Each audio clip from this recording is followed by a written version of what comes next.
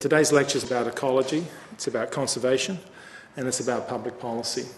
And I can think of no one better to, to give us that lecture than uh, Professor Marc Mangel.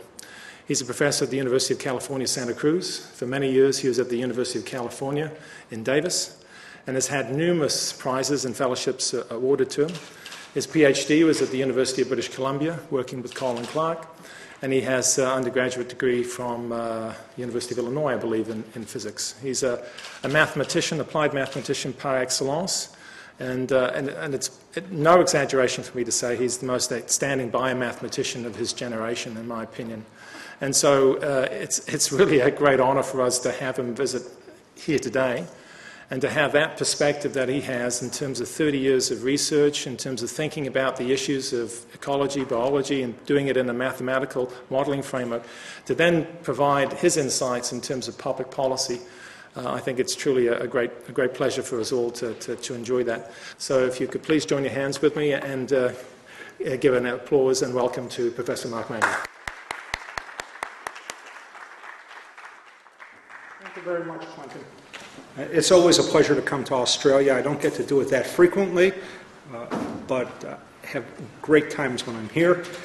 Uh, today I'm going to talk about how ecology conservation and public policy can be linked, particularly in the 21st century.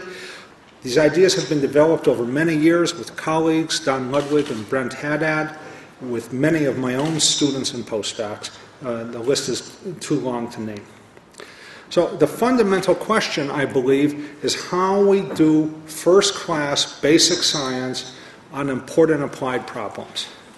Now, when I was a graduate student, as uh, Quentin mentioned, in the mid to late 1970s, the answer of many of my colleagues was why bother at all?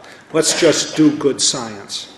And I will say that many of these people, when they turned 45 or 50, had uh, a midlife crisis in which they woke up and realized that they had been taking from society for 30 years and now wanted to give something back but did not know how to do it. Here's another answer to the question.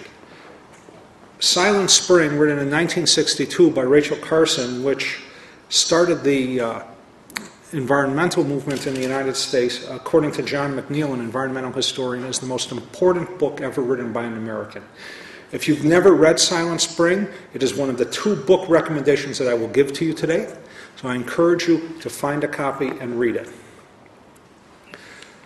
So the, the question is how do we bring first class science to uh, important applied problems? The answer to that question is not completely clear, but some parts of it are clear. And as the advertisement for the talk said, I will actually try to answer this question with another series of more specific questions.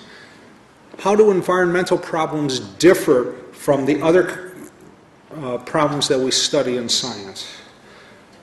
How do we deal with uncertainty? How does science support policy making? And what should we and how do we learn from other disciplines? So, more or less, that's the outline of the talk. To begin, environmental problems are wicked. Now, that's a, a, particular definition going back to a very old paper by uh, Rittel and Webber in uh, 1973. Some of the characteristics of wicked problems are listed here. They're vague. They're kind of the word problems that you studied in high school, but not clear. You don't know when you have an answer. You don't know how to stop and say, I'm done. You don't know if solutions are right or wrong. That's not even the, the issue. Solutions are either good or bad, depending upon definitions. And there are many ways of looking at the problem. There are multiple stakeholders, and so there are pluralities of perspectives. John Maddox was the editor for Nature magazine for many, many years, and at the end of the 20th century, he wrote a book entitled What Remains to Be Discovered, which is actually a misnomer for what's in the book. But in that book, he noted that the best environmental policy depends on how one frames the question. So these wicked problems are very difficult to grab onto, they're amorphous. To begin, they're really not dealt with by optimizing. And in fact, they're not dealt with by managing. For example, nobody manages climate change. El Nino, and as we have seen in the last four months, nobody manages the economy.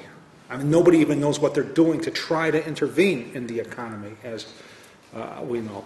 Now, that doesn't mean we can't do something about these, but we certainly don't manage them. For that reason, uh, one of the things I encourage is that we remove the phrase ecosystem management from the dictionary. We might refer to ecosystem based management, but we will never manage ecosystems. What we manage is human intervention in ecosystems. And the sooner we admit that, the better off we will be.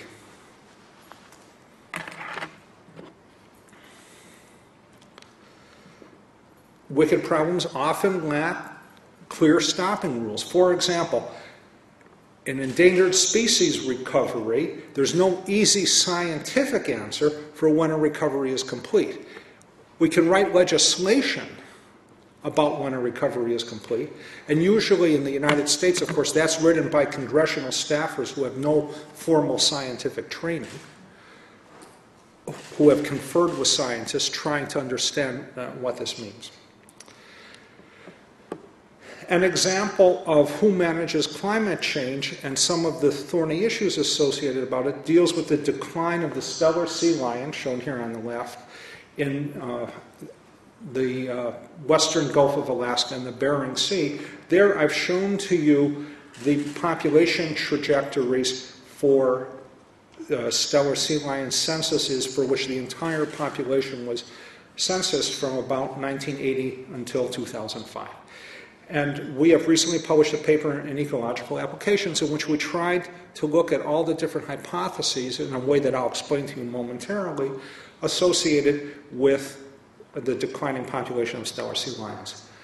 One of our conclusions is that the Steller sea lions declined because the North Pacific Ocean went through a regime shift. The North Pacific Ocean I apologize, I should I'll say the uh, eastern side of the Pacific Ocean, in the north, exists in two states which alternate on a very, very slow time scale, a period of about 50 years.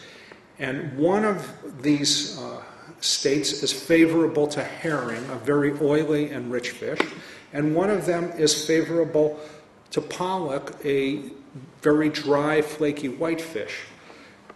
We know in the laboratory or in tanks, one can feed Steller sea lions as much pollock as they want and they will lose weight.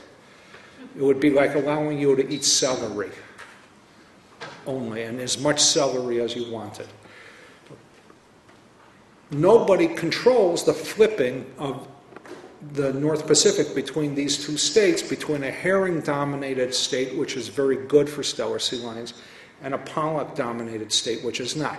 There are other aspects of the problem too, but this particular result, whoops, oh, it says right there, uh, this particular result was liked neither by environmentalists who like to sue the fishery service because they're not doing their job, and, or the fishery service because the fishery service couldn't manage anything to do their job.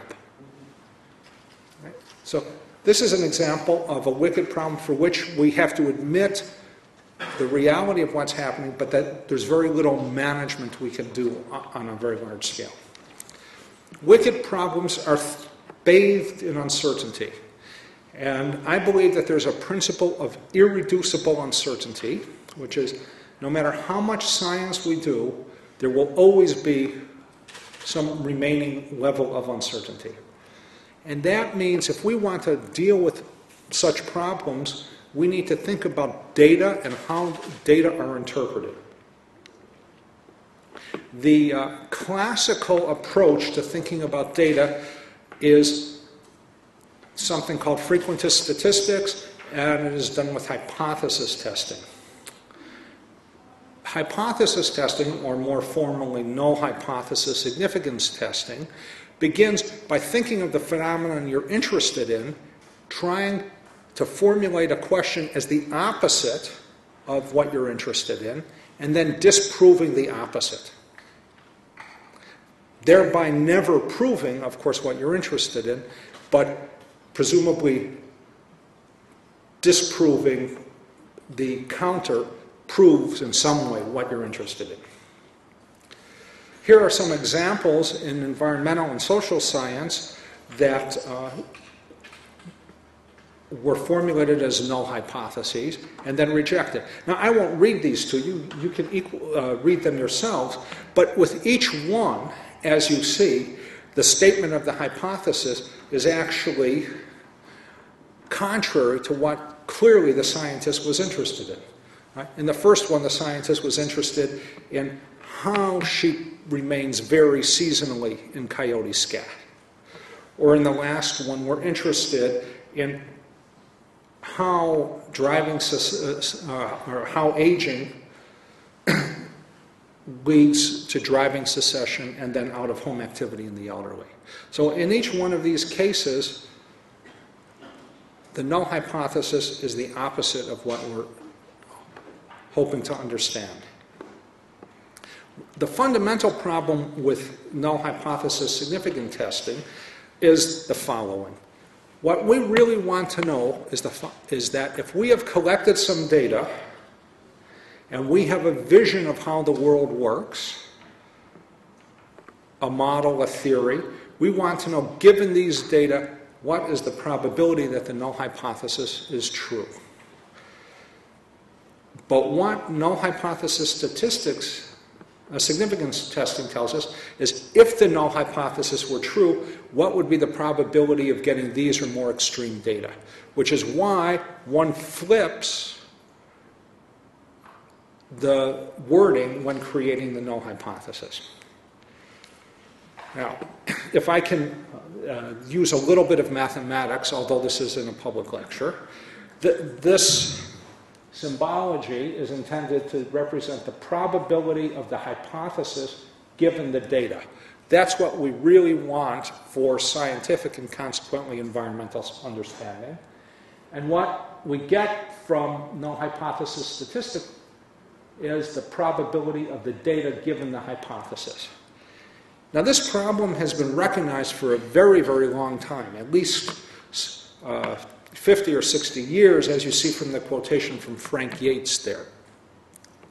The trouble was that there were really few alternatives to it that were practicable until the, uh, really the end of the 20th century. And now there are alternatives.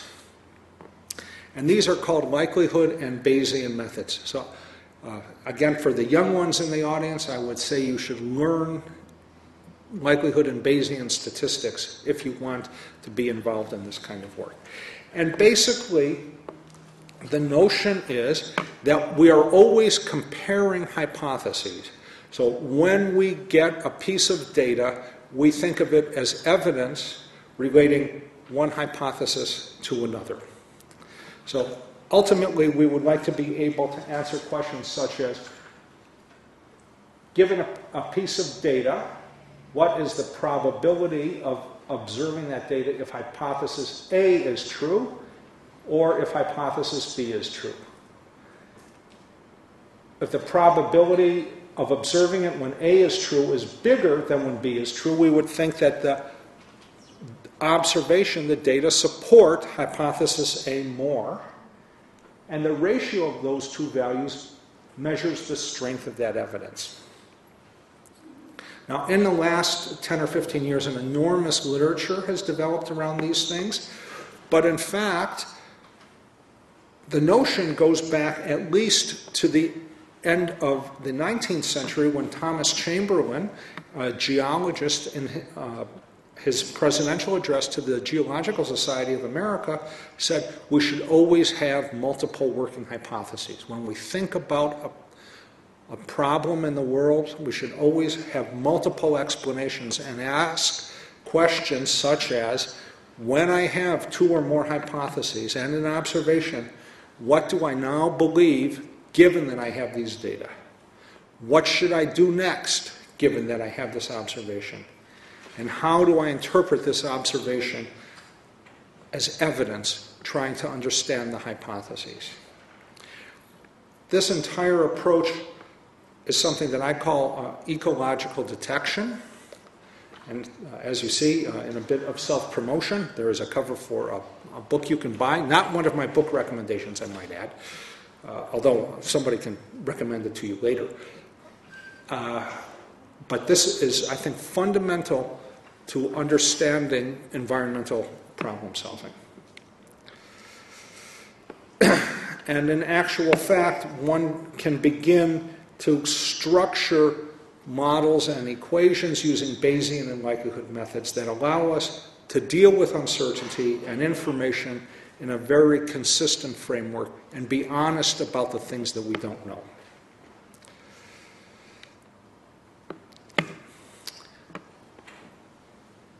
The next thing we need to think about is how does science support policy making?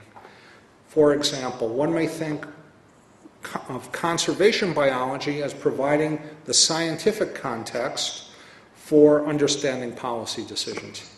Now, where I come from, uh, people rarely acknowledge successes of uh, conservation, so I thought I would begin by pointing out a few such successes.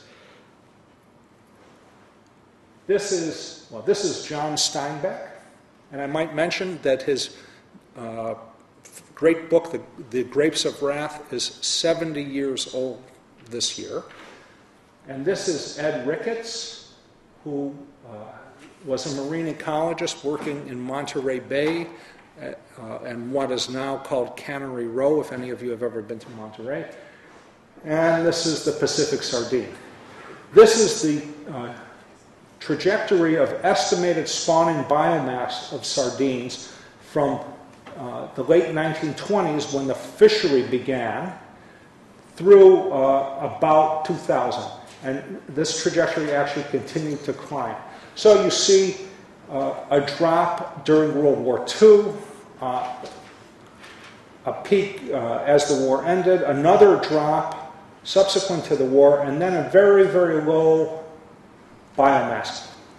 The biomass is clearly not zero there, but it was less than uh, 20,000 metric tons, and that notch is 500,000.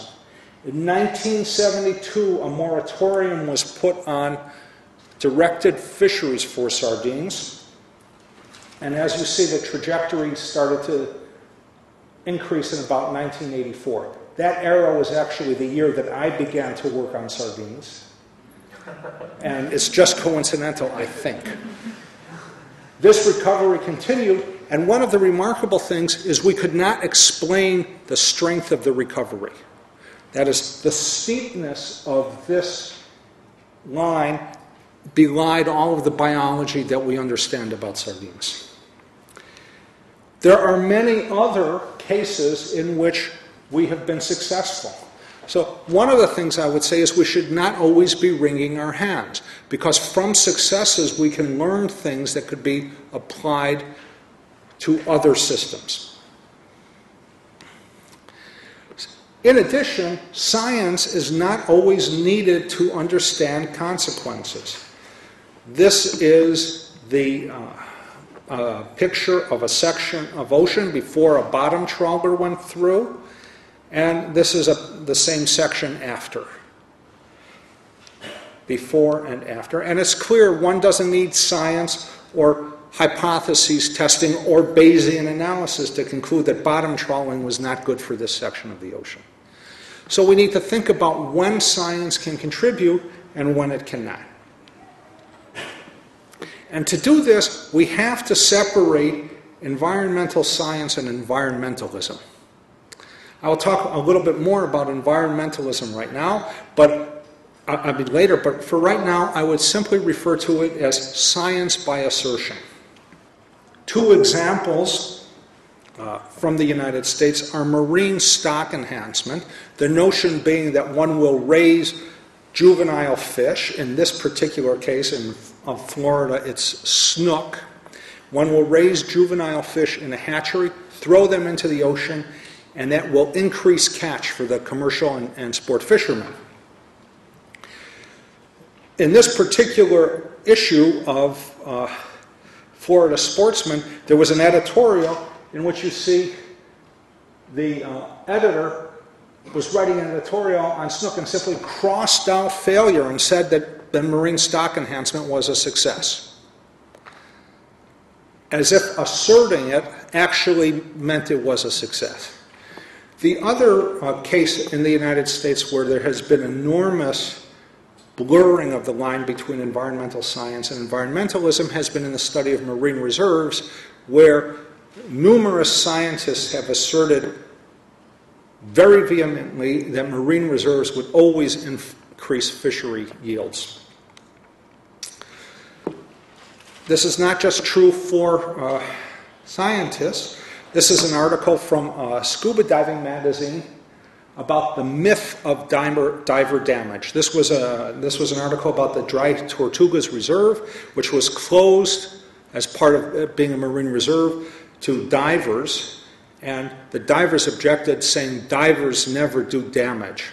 Now, I don't know how many divers there are in here, but uh, I've, I've dove on numerous occasions commercially with, with people who were uh, certified two days before that and have watched them wreak havoc.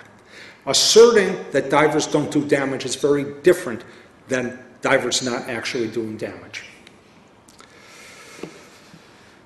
With the marine reserves, one ended up having the line blurred to the point that scientists were talking about slogans such as 20% by 2020. Does anybody in here remember that slogan from about a decade ago? Right? That if we just put 20% of the world's oceans in marine reserves by the year 2020, everything would be fine.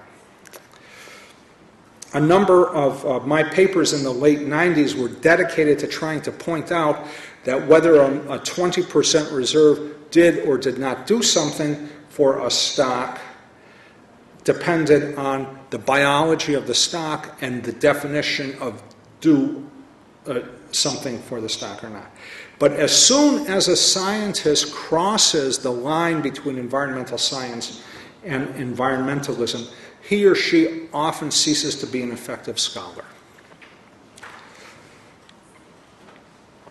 Next, we need to understand the policy process. This is, of course, a uh, US view, and presumably one can uh, change the, the wording a little bit to adjust it for Australia. But policies are in, expressed by the goals of our leaders, by the staff of government agencies, by the actual laws that we have, and by the practices of administrative agencies. so that policy can occur anywhere within the executive, judicial, or legislative branches. And if one wants to work at this interface, one needs to understand how the policy process proceeds. Most importantly, when policy and science interact, both can become distorted. And I would like to uh, give two examples. One, a uh, uh, marine mammal example, and then one uh, terrestrial example.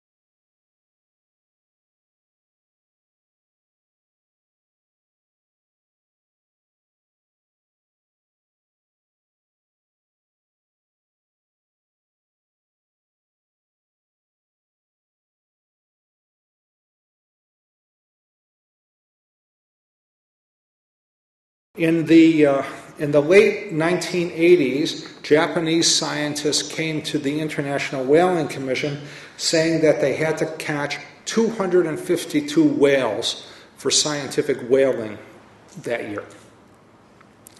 And the reason for having to catch 252 whales was that they needed to have